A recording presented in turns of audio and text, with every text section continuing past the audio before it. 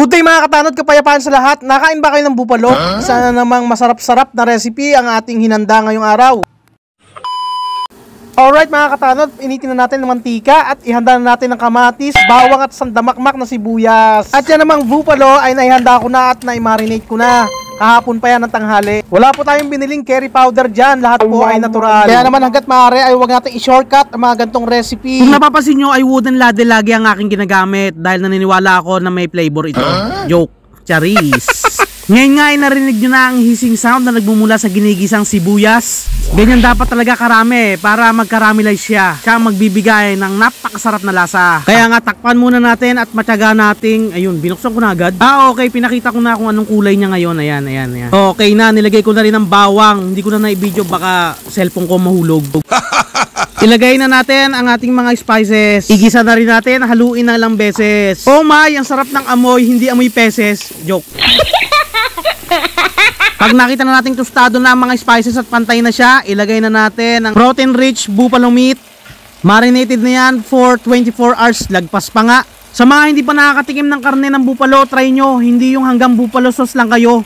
Buffalo kayo ng buffalo, hindi nyo naman alam ang lasa. Kaya naman sa mga hindi pa nakakatikim nito, ini-encourage ko kayo, lalo na yung mahilig magluto sa kusina. Mas maamoy nga lang siya kumpara sa baka. Pero tiyaga lang kung gusto mo makatikim ng iba, di ba? Sa timplahan lang yan magkakaalaman, yung lahat na natutunan ko sa paaralan, joke.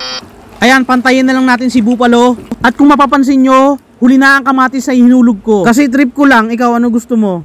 Be, joke lang. Gusto ko nakikita kasi yung kamatis na buo. Buo, hindi buo.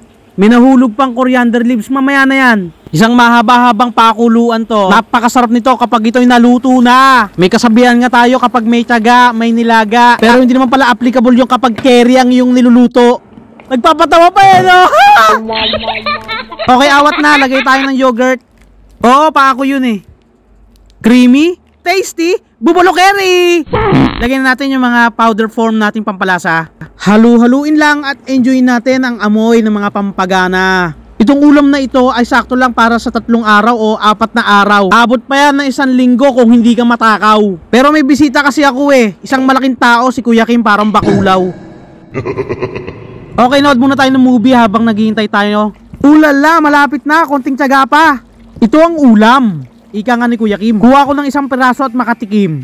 Abay malambot na, pwedeng pwede na. Pero mas gusto ko pa pakuluan pa. Mga ilang minuto para sigurado. Napagsaing na rin ako at maya maya lang ay darating na si Kuya Kim para pagsaluhan namin to.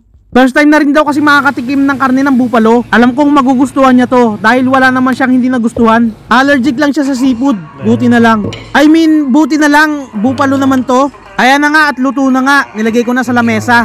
Ano pa, eh di kainan na. Yung ginamit ko for marination, balikan nyo na lang yung mga ibang vlog ko na tungkol sa curry. Oh yeah. Yun lang, bye. Thanks for watching. Pwede mo nakakaano ng bupal mo. Ah, first time ba? Hindi, sure, sure. Hindi nga.